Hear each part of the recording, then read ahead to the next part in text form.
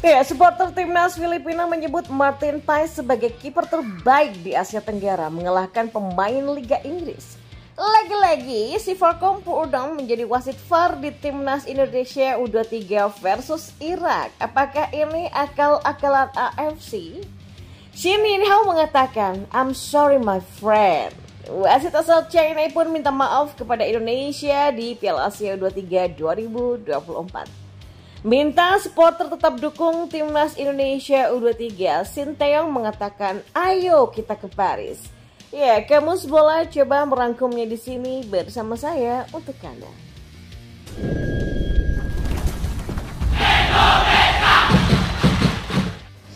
Ya, supporter timnas Filipina menilai bahwa status kiper terbaik di Asia Tenggara saat ini jatuh kepada Martin Paes yang baru saja dinaturalisasi. Martin Paes sudah menjalani sumpah sebagai warga negara Indonesia di kantor wilayah Kanwil Kemenkumham DKI Jakarta pada Selasa pagi kemarin.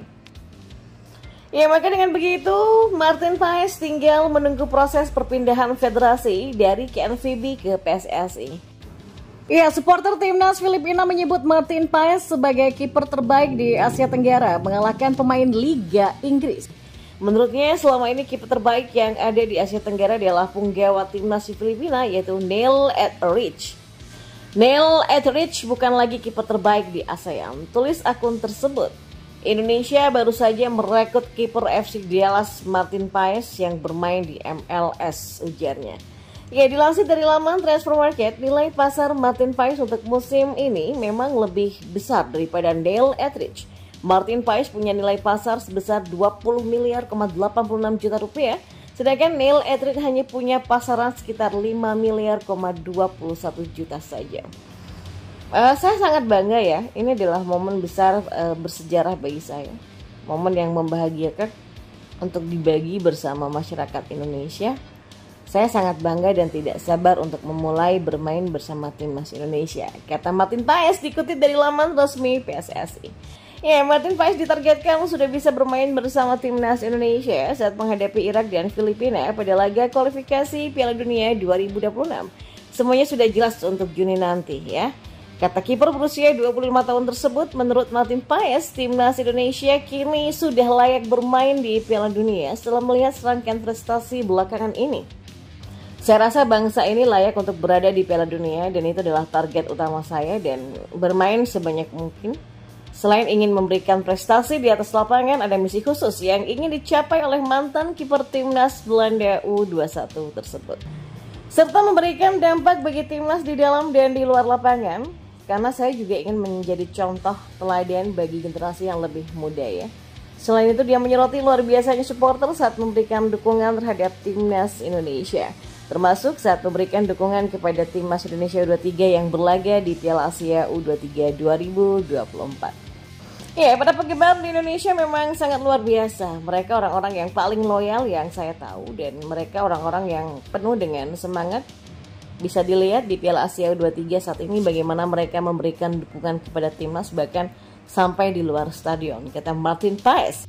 Ya, Paes adalah kiper kelahiran Nijmegen Belanda pada tanggal 14 Mei di tahun 1998. Saat ini kiper dengan tinggi 191 cm ini bermain di Liga Amerika Serikat atau MLS bersama FC Dallas. Ya, Paes punya darah Indonesia dari sang nenek yang lahir di Pare Kediri, Jawa Timur pada 20 Maret di tahun 1940. Dia merupakan pemain naturalisasi rekomendasi Sinteyong untuk memperkuat timnas Indonesia. Ya, Martin Paes diharapkan dapat memperkuat timnas Indonesia saat melawan Irak pada 6 Juni dan Filipina pada 11 Juni pada kualifikasi Piala Dunia 2026 di Jakarta nanti. Ya, kita beralih ke informasi selanjutnya. Wasit asal Thailand, si Puudom, lagi-lagi akan menjadi wasit VAR di pertandingan timnas Indonesia U23. Kali ini bertugas saat Garuda Muda melawan Irak di perebutan tempat ketiga Piala Asia U23 2024. Timnas Indonesia U23 dan Irak akan bertanding dalam perebutan tempat ketiga sekaligus penentuan lolos ke Olimpiade Paris 2024. Bahkan sebelum pertandingan dimulai, Garuda Muda sudah mendapatkan kerugian. Bagaimana tidak, wasit VAR yang sudah merugikan anak asuh Sinteyong dua kali di Piala Asia U23 2024 bakal bertugas lagi. AFC telah mengumumkan wasit yang akan bertugas di laga timnas Indonesia U23 versus Irak pada Kamis 2 Mei malam esok. Ya, ada nama si Farkom Pudom yang akan bertugas. Ia bakal menjadi asisten wasit VAR mendampingi Abdullah Dafer Al-Syahri dari Arab Saudi. Sosok si Falcon Pudom sendiri menjadi momok tersendiri bagi timnas Indonesia U23 di Piala Asia U23 2024. Di sisi lain, wasit asal China meminta maaf kepada Indonesia. Ya, Xin Yin Hao meminta maaf atas perbuatannya. Timnas Indonesia U23 gagal melaju ke babak final Piala Asia U23 2024. Seperti diketahui, Uzbekistan sendiri berhasil mengalahkan timnas U23 Indonesia dengan skor 2-0. Tapi hasil itu mengecewakan penggemar sepak bola Indonesia Sin Hao dalam memimpin pertandingan di laga Uzbekistan dan Indonesia. Pemain Indonesia pun banyak kena kartu kuning dan kartu merah. Sin Hao pun mengatakan, I'm sorry friend, I carry out my duties as best I can. Uh, ya, maafkan aku saudaraku, aku menjalankan tugasku sebagai mungkin. Ya, dan Erick Thohir pun menegaskan bahwa PSSI akan mengajukan protes kecurangan wasit Piala Asia U23 2024 saat timnas Indonesia U23 bertemu dengan Uzbekistan. Ya, Erick Thohir memang menilai terjadi banyak kecurangan wasit dalam memimpin laga bergengsi itu.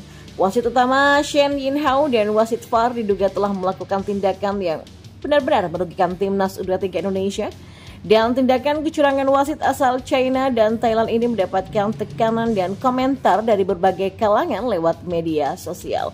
Ya, kepada para pemain timnas U23 Indonesia, Menteri BUMN ini menegaskan kepada pemain untuk tetap bersemangat.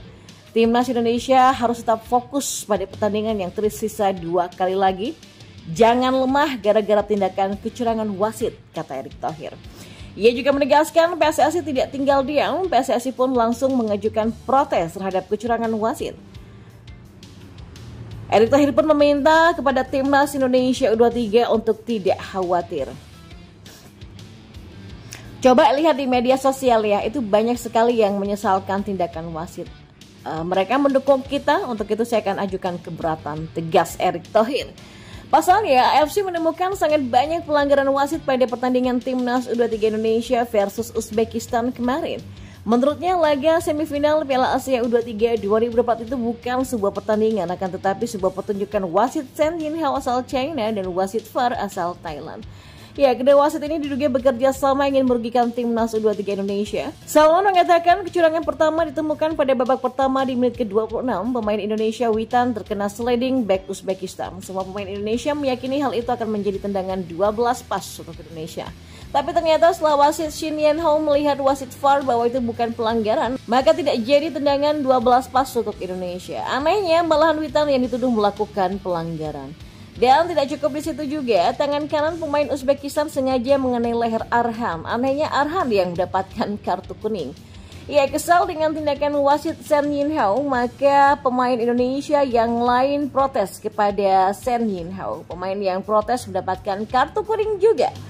Dan melalui media, pelatih timnas U23 Indonesia, Sinteyong, menyampaikan pernyataannya saat jumpa pers. Dia mengatakan permohonan maaf kepada rakyat Indonesia karena membuat perjalanan timnas Indonesia U23 terhenti untuk dan gagal lolos melaju ke babak final Piala Asia U23 2024. Ia mengatakan jika dia sudah berusaha membuat sepak bola Indonesia menjadi lebih maju. Walaupun gagal lolos melaju final Piala Asia, Indonesia akan berjuang mendapatkan posisi juara tiga.